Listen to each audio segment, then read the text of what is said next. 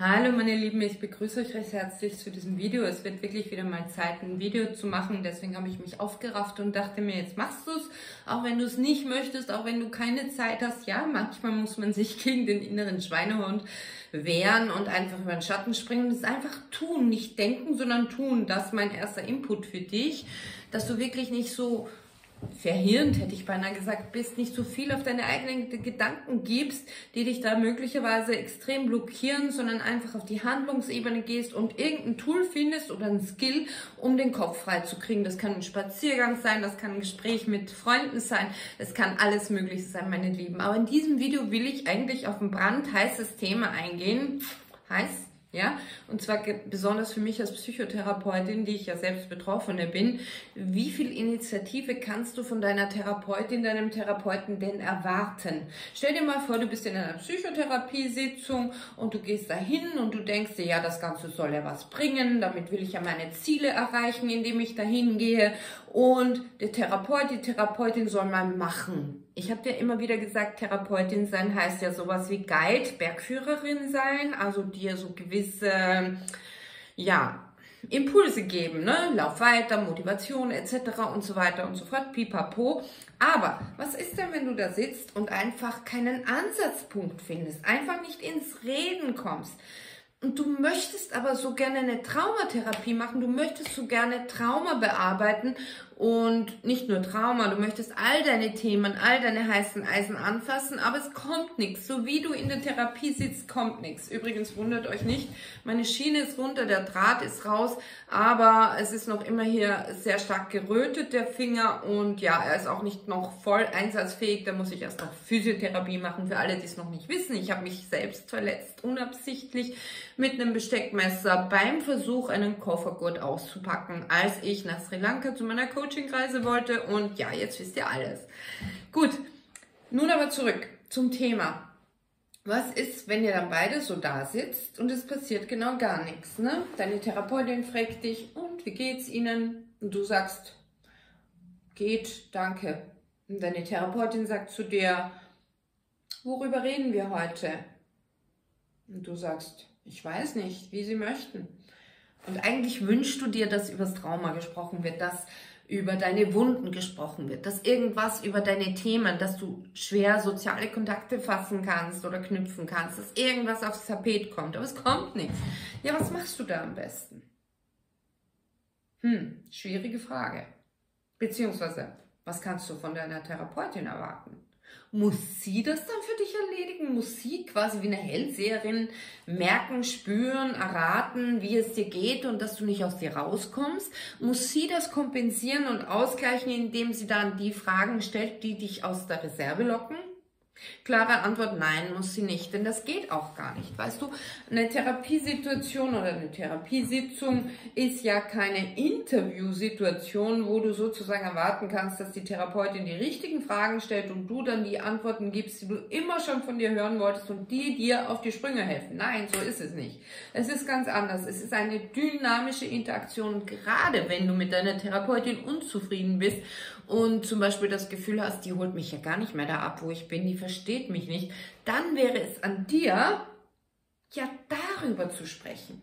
Genau darüber, ja, du hast richtig gehört, genau darüber, wo du dir denkst, das ist eigentlich etwas, was deine Therapie stört, schrägstrich zerstört oder aber verhindert. Genau das ist es, worüber du sprechen solltest. Das will ich dir in diesem Video ans Herz legen. Sprich genau darüber, was die Therapeutin mit ihren Fragen oder Nichtfragen, mit ihren Reaktionen auf dein Schweigen bei dir auslöst. Das ist genau deine Aufgabe in der Psychotherapie, denn wenn du es nicht tust, weißt du, was dann passiert?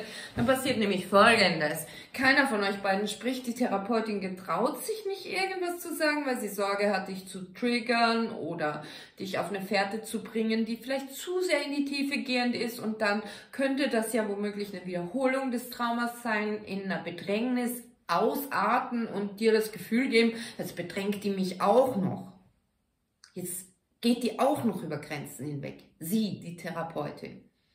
Und deswegen ist es nicht so, dass Therapeuten sehr, sehr initiativ sind, sondern es ist eher so, dass du initiativ sein darfst und wenn du es eben gerade nicht kannst, über diese Blockade, über diese Schwierigkeit zu reden, über diese Schwierigkeit zu vertrauen, über diese Schwierigkeit aus dir rauszukommen, in deiner Psychotherapiesitzung bitte, bitte reden solltest.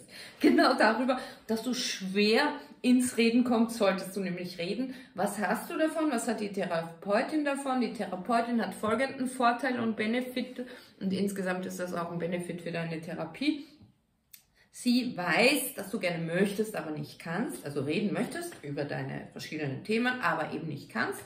Und du gibst ihr, indem du ihr das mitteilst, die Chance da anzusetzen und dich da abzuholen, wo du gerade bist und nicht die ganze Zeit irgendwelche kryptischen Fragen zu stellen, von denen du vielleicht überfordert oder gar genervt bist, weil es eben nicht die Fragen sind, die du hören willst. Und deswegen mein Tipp, sprich mit deiner Therapeutin. Stell sie nicht auf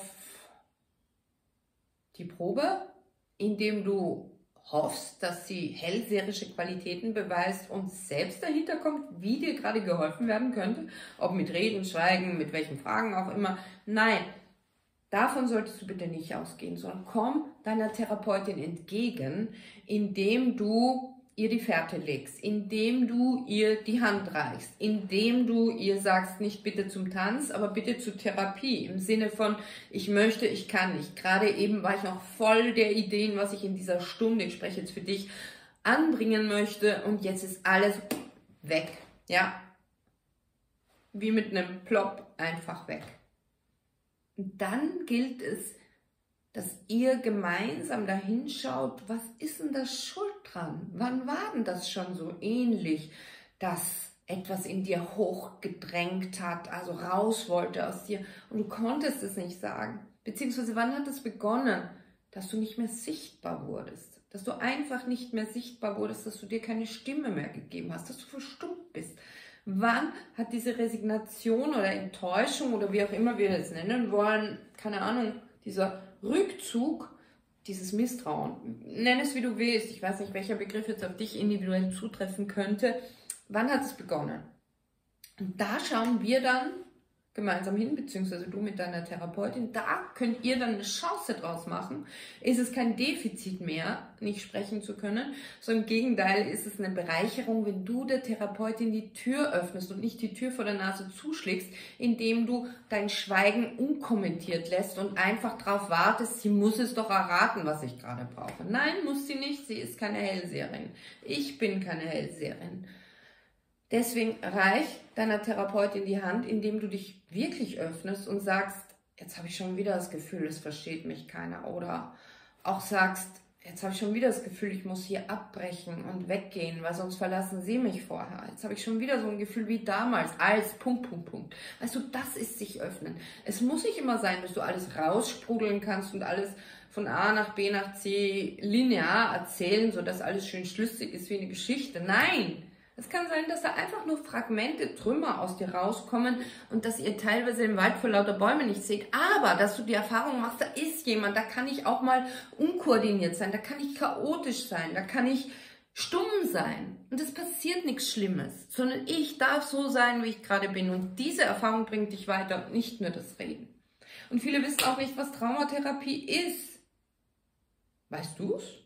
Würde mich interessieren, wenn du in die Kommentare vielleicht deine Erfahrungen mit Traumatherapie schreiben möchtest. Du machst doch gerne.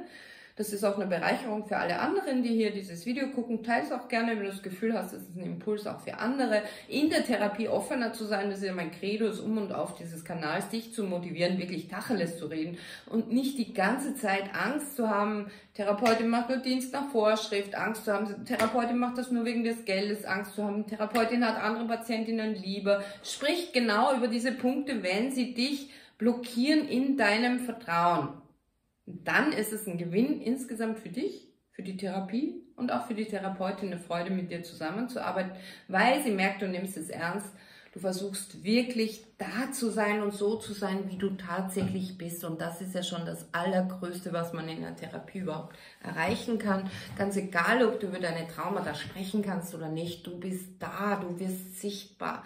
Mit all deinen Gefühlen und Ambivalenzen, also Zerrissenheiten, inneren Konflikten, was auch immer. Du darfst da sein. Und das ist die Hauptsache, dass du das lernst. Einfach auszuhalten, zu spüren, zu fühlen, zuzulassen, dir zu erlauben lernst. In diesem Sinne freue ich mich über deine Kommentare. Tschüss, bis gleich.